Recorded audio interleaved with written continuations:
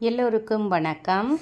Aadhira's kitchen YouTube சேனலுக்கு உங்களை அன்போடு வரவேற்கின்றேன். நல்லதை நினைப்போம் நல்லதே நடக்கும்னு சொல்லி இந்த பதிவை நான் ஆரம்பிக்கிறேன். வீட்டில் சண்டை குழப்பம் பணப்பற்றாக்குறை மனப்பிரச்சனைகள் வருகிறதா? அப்பொழுது பூஜை அறையில் இது இருந்தால் எடுத்து விடுங்கள். அனைத்து பிரச்சனைக்கும் முற்றுப்புள்ளி அப்படின்னு தலைப்பு போட்டிருக்கேன் இல்லைங்களா? அது என்னென்னு பார்க்கலாம். இப்போது நம்ம வீட்டில் நல்லா பூஜை பண்ணுறோம் நல்லா விளக்கேற்றி வைக்கிறோம் வத்தி ஏற்றி வைக்கிறோம். பூஜையெல்லாம் செஞ்சுக்கிட்டேவும் இருக்கிறோம் கோவிலுக்கும் போகிறோம் அப்போ ஏன் நம்ம வீட்டில் இந்த பிரச்சனை? நான் கோவிலுக்கு போயிட்டு வந்தாலே எங்கள் வீட்டில் பிரச்சனைம்மா. ஒரு சிலர் ஒன் ஒரு ஒரு ஒரு சிலர் என்கிட்ட ஒரு பெண் என்கிட்ட கேட்டிருந்தாங்க என்னென்னா நான் அம்மன் கோவிலுக்கு போயிட்டு வந்தாலே எங்கள் வீட்டில் பிரச்சனை நடக்குது. முருகன் கோவிலுக்கு போயிட்டு வந்தாலே பிரச்சனை நடக்குது. சண்டை நடக்குது குழப்பம் நடக்குது. அப்படின்றவங்களுக்கு இப்போ பூஜை அறை என்பது எப்பவுமே சுத்தபத்தமாக நம்ம வச்சுக்கிறோம். அதில் வந்து தேவையில்லாத பொருட்களை சேர்த்து வைக்கக்கூடாது. இப்போ பூஜை அறை இருக்குதுன்னு வச்சுக்கோங்களேன் அந்த பூஜை அறைக்கு மேலே நம்மளுக்கு அது உபயோகம் இல்லை அதனால் பரவாயில்ல அந்த கபோர்டுக்கு மேலே நம்ம இதை வச்சு வைப்போம் அப்படின்னு சொல்லிட்டு எந்த தேவையில்லாத ஒரு இப்போ ஒரு சின்ன ஒரு முடிச்சோ ஒரு மூட்டையோ ஒரு பாத்திரத்தில் நாலஞ்சு பாத்திரத்தை போட்டு வெயிட்டாக வைக்கிறதோ அந்த மாதிரி எந்த காரணத்தை கொண்டு வைக்காதீங்க. பூஜை அறைக்கு கீழே கூட வைக்கலாம். பூஜை அறைக்கு மேலே நம்ம வைக்கக்கூடாது. அந்த இடத்துல ஒரு கனமான தேவையில்லாத பொருள். இப்போ நான் நீங்கள் ஒரு ஆறு மாதம் ஆகியும் அந்த பொருளை எடுக்கலைன்னா அது தேவையில்லாத ஒரு பொருள் தான் நம்ம நம்ம வீட்டுக்கு. அப்போ என்ன பண்ணணும் பார்த்தீங்கன்னா அதை உடனே எடுத்து தேவையானவங்களுக்கு அதை கொடுத்துடலாம். தவறு கிடையாது. நிறையா பெ பெருமைக்குனாலும் எல்லாரும் சொல்லுவாங்க ஒரு சில சேலைங்கள்லாம் நான் ஒரு ஐம்பது வருஷமாக வச்சுருக்கேன் நான் ஒரு அறுபது வருஷமாக வச்சுருக்கிறேன் அப்படின்னா ஒரு நான் ஏதோ கல்யாணம் ஆன புதுசுலேருந்தே நான் வச்சுருக்கிறேன் அப்படின்ற மாதிரிலாம் சொல்லுவாங்க. எனக்கு தெரிஞ்சு உங்களால் முடியும். உங்ககிட்ட அதிகபட்சம் சேலை வாங்க முடியுன்றவங்க அந்த எக்ஸ்ட்ரா நீங்கள் வருஷம் வருஷமாக வச்சுருக்குறேன்றீங்க பாருங்கள் அந்த சேலையெல்லாம் இல்லாதவங்களுக்கு கொடுத்து கட்ட சொல்லுங்கள் முதியோர் இல்லங்களுக்கு நல்ல சேலைகளாக எடுத்துகிட்டு போயிட்டு அழகாக அயன் பண்ணி மடித்து கொண்டு போய் கொடுங்க. அது அவங்களுக்கு கண்டிப்பாக தேவைப்படும். அவங்க வந்து என்ன பண்ணுவாங்க? அவங்களுக்கு அது தேவையில்லாமல் பட்டுச்சுன்னா அவங்க யாராவது ஒரு முதியோர் இல்லத்துக்கு கொடுத்துருவாங்க. இப்போ பூஜை அறை அப்படின்னாலே நிறைய பேர் வீட்டில் வத்தி ஏற்றி வைக்கிறோம். அந்த வத்தியோட அந்த சாம்பல் அந்த இடம் கீழே கிடக்கும். அந்த வத்தி கா சொருகின அந்த வத்தி அப்படியே இருக்கும். ரெண்டாவது இன்னொரு விஷயம் என்னென்னா பூ வைக்கிறோம் பூஜைக்கு. அந்த பூ வாடி ஒரு நாள் தான் இருக்கும் அந்த பூ. வாடாமல் இருக்கும்னா இந்த மழை நாளில் கொஞ்சம் நாள் பார்த்தீங்கன்னா இந்த சாமந்திலாம் வச்சிங்கன்னா மூணு நாள் ஆனாலும் ஃப்ரெஷ்ஷாகவே இருக்கும். அது தவறு கிடையாது. ஆனால் வாடி வதங்கி போன பூவை அந்த பூஜை அறையிலே நம்ம விடக்கூடாது.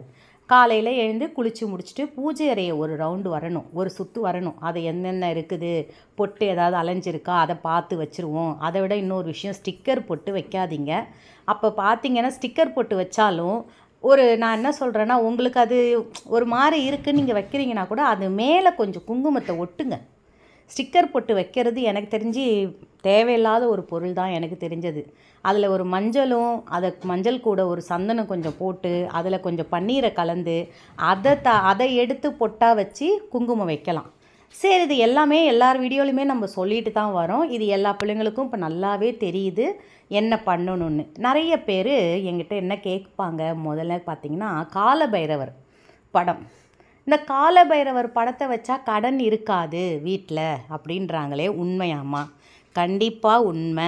காலபைரவர் படம் தாராளமாக வீட்டில் வைக்கலாம். தன ஆகர்ஷண பைரவர் காலபைரவர் அஷ்டபைரவர் அந்த மாதிரி எந்த பைரவர் உங்களுக்கு எத்தனை பைரவர் படங்கள் எது இருந்தாலும் நம்ம வீட்டில் தாராளமாக வைக்கலாம். ஒரு சிலருக்கு ஒரு சிலர் வந்து என்ன பண்ணுவாங்கன்னா அவங்களுக்கு தெரியாது. இந்த சிவன் இருக்கு இல்லைங்களா? லிங்கம் உருவத்தில் சிவன்.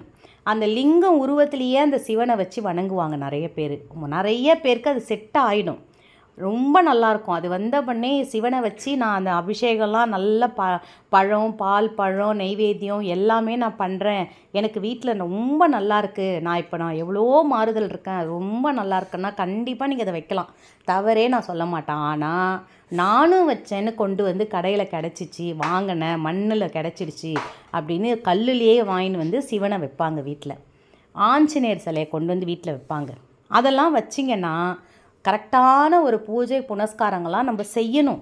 அதற்கான பால் அபிஷேகத்தை செய்யணும் அதற்கான நெய் அதற்கான குங்கும அபிஷேகம் விபூதி அபிஷேகம் இதெல்லாம் நம்ம செய்யணும். நான் சின்ன சிலை தானம்மா அதுக்கு எதுக்கு அபிஷேகம்லாம் பண்ணணும்னு நினைக்காதீங்க. சிலர் வீட்டில் பார்த்தீங்கன்னா அந்த பூஜை அறையை திறந்தே ஒரு மாதத்துக்கு மேலே இருக்கும். அந்த அளவுக்கு போட்டு வச்சுருப்பாங்க. அந்த மாதிரிலாம் இருக்கிற வீட்டில் இந்த மாதிரி படங்களை வைக்கிறது கொஞ்சம்.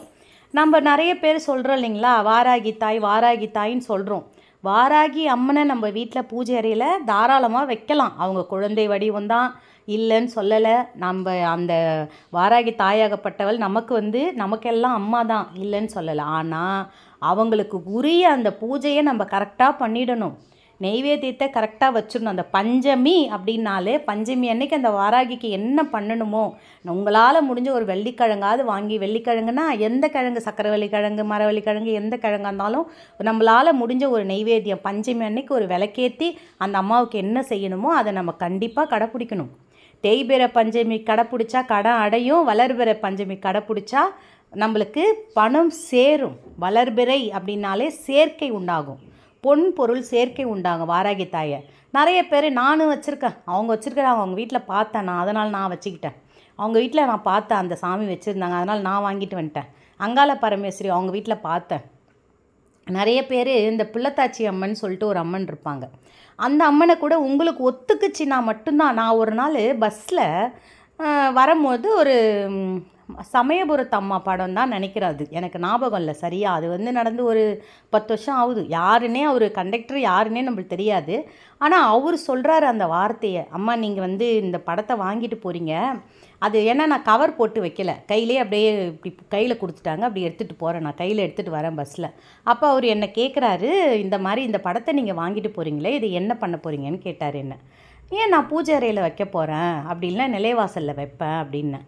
இல்லைம்மா அந்த மாதிரிலாம் வைக்கக்கூடாது. இந்த அம்மாலாம் எங்கெங்கே இருக்கணும் எந்தெந்த மாதிரி ஒரு நியதி இருக்குது அவர் அதை எனக்கு சொல்லணும்னு அவசியமே இல்லை இல்லைங்களா? நான் சொல்கிற கதை வந்து ஒரு பத்து பதினஞ்சு வருஷத்துக்கு முன்னாடி சொல்கிறேன் எப்படி வைக்கணுமோ அதை அப்படி வைக்கணும். சமயபுரத்து அம்மாலாம் ரொம்ப ஐதீகமானவங்க உக்கிர தேவதைகள் அவங்களாம் நம்ம வந்து புழக்கமான இடத்துல ஒரு அசைவம் செய்கிற வீட்டில் கூட ஒன்றும் பிரச்சனை இல்லை. இருந்தாலும் அந்த தெய்வத்துக்கு அசைவம் ஏற்றுக்குமான்னு நம்மளுக்கு தெரியாது. ரெண்டாவது பாய்ப்படுக்க இருக்குது. அடுத்தது வந்து வீட்டில் மாதவிடாய் சமயம் பெண்கள் இருக்கிறாங்க. இந்த யார் யாரோ நம்ம வீட்டுக்கு வருவாங்க. அந்த மாதிரி உள்ள வீட்டுங்களில் இந்த மாதிரி தேவதைகள் படத்தை வச்சா நம்மளுக்கு இந்த மாதிரி சண்டை குழப்பம் பிரச்சனை ஏதாவது ஒரு பணத்துக்கு பற்றாக்குறை. நீங்கள் புதுசாக ஏதாவது ஒரு படம் நீங்கள் எடுத்துகிட்டு வந்து வச்சு நம்ம அதனால தான் இப்போ அந்த படம் வச்சோம். அதுலேருந்து தான் இப்படி ஆகுது. நம்ம நினைப்போம். கண்டிப்பாக நீங்கள் நினைங்க. ஏதாவது ஒரு விஷயம் நம்ம வீட்டில் மாறுதலாக நடக்குதுன்னா அப்போ நீங்கள் புதுசாக ஏதோ ஒரு பொருளை வீட்டில் எடுத்துகிட்டு வந்து வச்சுருக்கிறீங்க. அது நம்மளுக்கு செட் ஆகலை. இப்போ நான் இது எவ்வளோ நாளாக நான் வச்சுருக்கிறேன்? இதனால் இல்லை. அப்படின்றதும் ஒரு சில பொருட்கள் இருக்குது. அந்த மாதிரி ஒரு விஷயத்தில் எனக்கு அவர் அது சொன்ன உடனே நான் வாங்கி எடுத்துகிட்டு வந்து வீட்டில் தான் வச்சேன். பூஜை அறையில் வச்சு வணங்கிட்டு வந்தேன். ஆனால் செட்டே ஆகலை. அந்த அம்மாவை இதுக்கே வந்து சாதாரண கண்ணாடி கூட போடல. சாதாரண படம். அந்த படம் வச்சதே எனக்கு எங்களுக்கு செட் ஆகலை. அந்த மாதிரி ஒரு சில படங்கள் நம்மளுக்கு செட் ஆகும் ஒரு சில சுவாமிகள் நம்மளுக்கு ஆகாது. அதனால் அந்த மாதிரிலாம் இருந்துச்சுன்னா அதை முதல்ல நீங்கள் எடுத்துருங்க. தவறு கிடையாது. அதனால் தெய்வத்தை நம்ம குறை சொல்கிறோன்றதெல்லாம் கிடையாது. நம்ம அந்த அளவுக்கு எந்த அளவுக்கு சுத்தபத்தமாக இருக்கிறோமோ அந்தளவுக்கு நீங்கள் தாராளமாக வைக்கலாம். நீங்கள் இது உங்களுக்கு ஆமாம்மா நீங்கள் சொன்ன இந்த வீடியோவில் நான் கேட்டேன். கண்டிப்பாக நீங்கள் சொல்கிறது உண்மை தான் அப்படின்னு எனக்கு கமெண்ட்ஸில் போடுவீங்க பாருங்கள் நான் இன்னொரு வீடியோவோடு உங்களை நான் மீட் பண்ணுறேன்